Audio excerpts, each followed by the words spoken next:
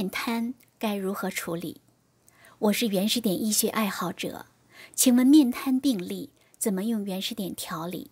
急等张医师调理方法，请张医师详细解答，谢谢。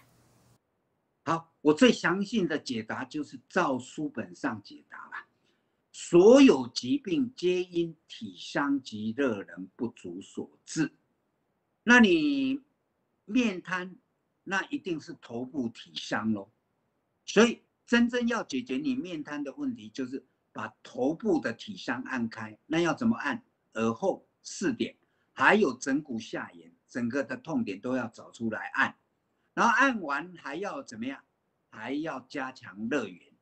那如果按推面瘫没有任何改善，哦，可以进一步再从脸部哦周围找出患处周围找出痛点来，加强按推。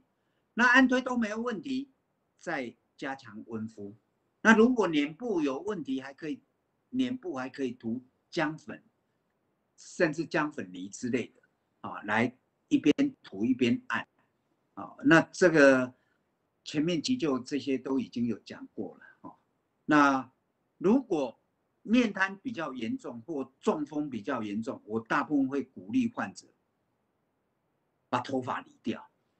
理掉之后，整个头涂姜粉泥，啊，然后一边电热器一边照，一边涂姜粉泥，然后按推也一定要做到位，一定是大开关按完，然后如果还没有效，再按患处周围的压痛点，啊，那那这样处理速度就会加速，啊，那我回答就到这里。